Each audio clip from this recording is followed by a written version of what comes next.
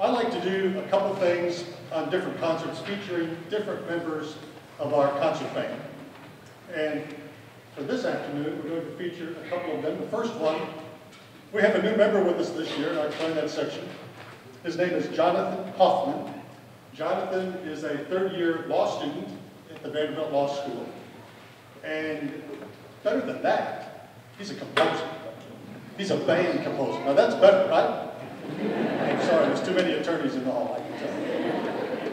But he's a wonderful young man. He's a great composer. He graduated from Emory University in Atlanta with a music composition degree.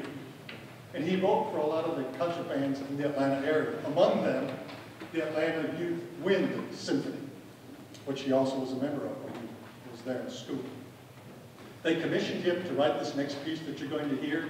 They also prepared it and premiered it in 2009. Here's Johnathan Hoffman's The Bliss Company.